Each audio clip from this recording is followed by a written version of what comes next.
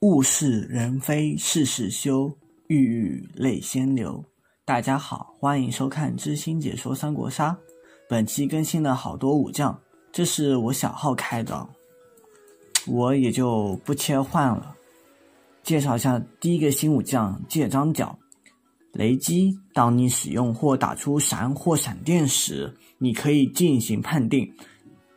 二，当你进行判定后，若判定结果为黑桃，你选择一名角色对其造成两点雷电伤害，梅花你回复一点体力，然后你选择一名角色对其造成一点雷电伤害。黄天美变，轨道。当一名角色的判定牌生效前，你可以打出一张黑色牌替换之。若你打出的牌是黑桃二到九，则你摸一张牌。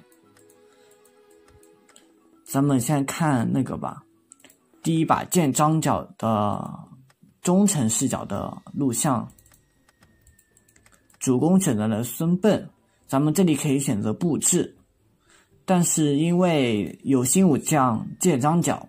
所以咱们就选张角吧，这里的雷击是结果就行了，发动成的几率比以前大太多了。轨道也得到了一定上的加强吗。剑锋所指，敌莫敢当。结果咱们被拆了一下。雷杀闪内修外攘，固正安邦。理论上这两个都是反贼。圣人之至道，在咱们就暂时这样标一下吧。我们群内局嘛，杀孙笨的不一定是反贼。然后咱们乐了一下这个孙策，为什么呢？因为跳三反了，咱们也装反，后面反贼可能会直接乌龙。然后李儒直接杀向奥张，因为奥张先行动，然后奥张是内奸，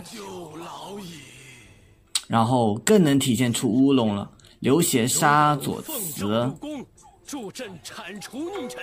嘣儿，判定为红桃。这里你们刚刚发现了一件什么事情吗？刚刚是那个结果，直接对左慈造成了伤害。借张角可是增强了很多。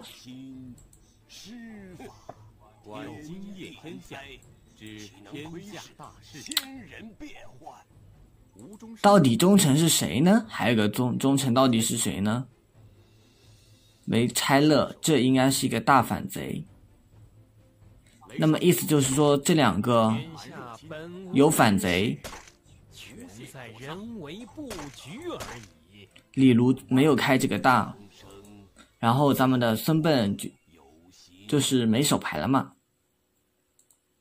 然后咱们没改，杀一刀贾诩，咱们这里手握三桃，可是如果被贾诩个九黑杀一个乱舞的话，咱们是救不了的。然后来来来，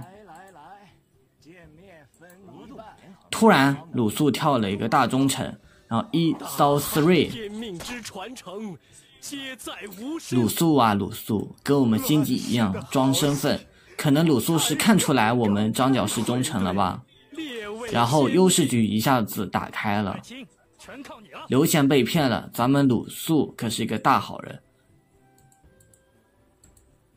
然后因为贾诩没牌了嘛，左慈也没有牌，但是左慈有一个空城。怎么办呢？这就非常伤。如果左慈不是空城，或者什么别的，像什么德富阴币，但是诸葛瞻好像只有借左慈能化身，所以说不是那种特殊的化身。左慈刚刚是死的嘛，然后放张南，咱们卖一下。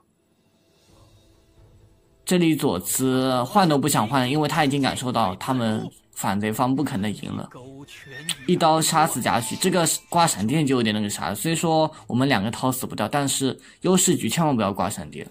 爱卿，快快请起。这里鲁肃可以杀我们一刀的，火杀一刀，砍死这个左子。可见得见张角技能的发动频率比之前高了许多。但是呢，这个武将还是有点脆。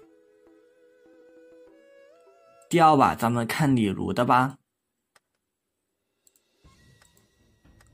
咱们是四号位的大反贼，主攻是剑张角。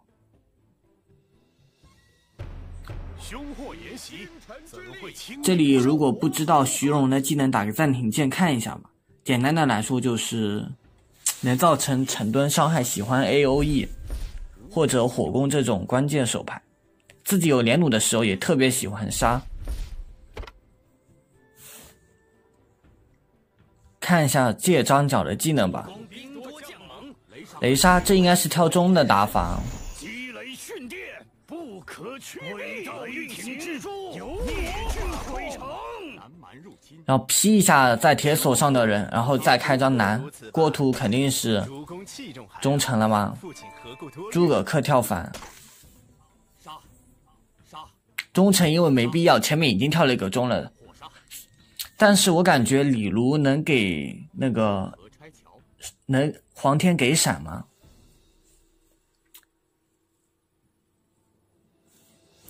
但是我感觉远位的借关羽比较偏中，所以诸葛恪应该是这么想的。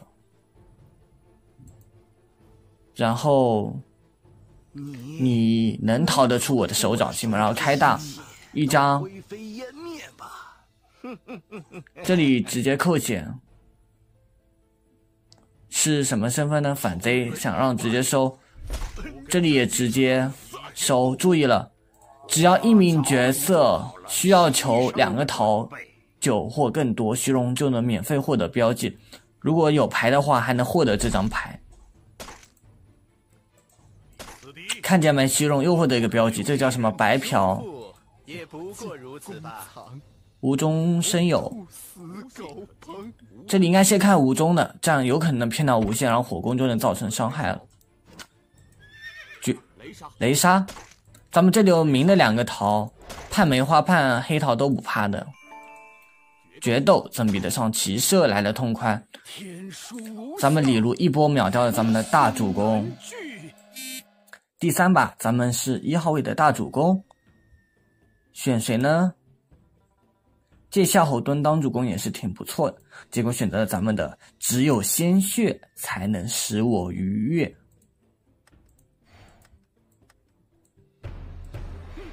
这里主公建议选择群雄的，因为有刘表啊、刘琦啊这种势力怪嘛。嗯嗯，哪个说我有勇无谋？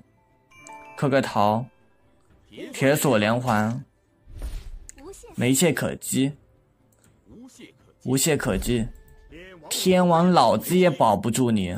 嗯，跳反贼，前面的身份我没看清，看看能不能收掉一个，并结果并没有，然后牌全弃光他们，然后巨兽开一个万箭齐发。收掉秦秘反，收掉玄玉反，嗯，开个五谷，估计拿个桃吧，装个盾过了。居兽应该是个大忠臣，蔡文姬是反，顺一下杀一刀，救一下，毕竟神州宇这武将也是比较偏中的嘛。然后曹睿刚刚是跳反了嘛。左左连环，雷杀一刀，咱们超强的两个忠臣带走了咱们的所有反贼。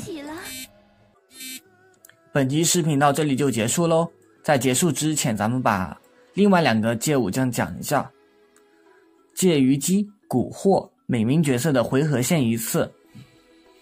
你可以扣置一张手盘当任意一张基本牌或普通锦囊牌使用或打出，其他角色可同时进行质疑并翻开此牌。若为假，此牌作废，且质疑者摸一张牌；若为真，则所有质疑者弃置一张牌或失去点体力，并获得技能产院。产院是当你的体力值为一的时候，你的其他技能均失效。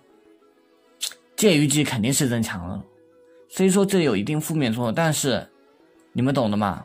建议大家用真牌，或者特殊情况下用那种很正常的牌。虞姬是增强了，张角也是增强，左思也是增强，但是呢，左思呢白嫖，这是小号，所以才开通九十三名武将。借左思的技能给大家介绍一下。游戏开始时，你获得三张武将牌，然后亮出其中一张，你获得亮出化身牌的一个技能，且性别和势力视为与化身牌相同。回合开始时或回合结束时，你可以选择一项更改亮出的化身牌，或移去至多两张化身牌，并获得等量的化身牌。以后有借左慈的录像会给大家放的。简单的来说就是，你多以前只能两张化身牌，现在有三张了。然后这里都没变，这里都没变，更改都没变。后面就是移去两张化身牌，就是你这张化身牌不要，你可以选。择然后丢掉，然后系统会给你新的两张或一张化身新生，这个美感。那本期视频就到这里就结束喽。好的，希望大家能踊跃给我投稿哦。我嗯，我打算在全面小康的四月份。开直播，那就先说一下投稿邮箱跟直播平台吧。投稿邮箱，投稿邮箱我会在视频后方一段时间在视频里面写着的。直播平台也是，欢迎关注我的直播平台，在虎牙直播搜索房间号幺七七幺四幺幺四。好的。最后就是咱们传说中的，非常感谢大家的观看，谢谢关注，喜欢的再关注哦，也不迟。